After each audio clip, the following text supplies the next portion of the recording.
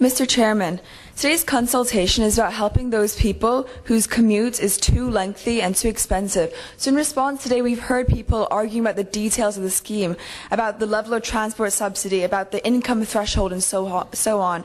Yet it takes us, the Lion Rock Institute, to ask the most fundamental question here, which is why are these people living in the wrong places in the first place?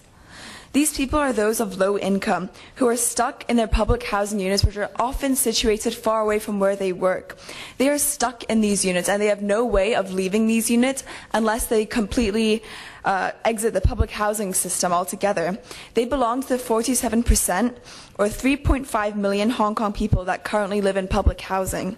Yes, today's consultation aims to help these people financially, but how about those precious hours that people spend on the bus to and from work every single day?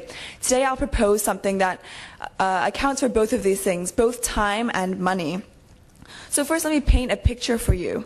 Say a young couple just starts a family and they desperately want to live in the city because they want to avoid the one hour bus ride to work every day. They'd rather be at home spending that time caring for their child. But currently, there is no way for them to move into the urban areas, even if they wanted to pay extra for that privilege. And then say there's this an elderly retired couple living in the city currently.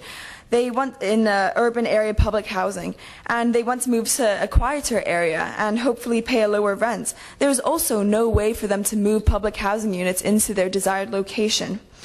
The Lion Rock Institute therefore proposes this that the government sets up a framework to allow inhabitants of public housing to voluntarily exchange public housing units together with money changing hands.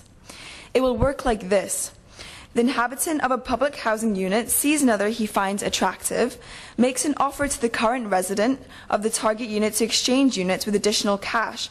The current resident would then signal to the housing authority that he is opening up his unit to bidding, in a fashion similar to the land list system. After the tender offers come in, the resident of the target unit chooses a trade, the residents exchange units with whatever cash offered split between the housing authority and the current resident all is done in a completely voluntary manner. The Lion Rock Institute will be announcing the details of this proposal soon, and if implemented, it will greatly alleviate the problem of people living in the wrong places, spending too much time and too much money on transportation, and our housing stock will no longer be so tragically wasted. Thank you.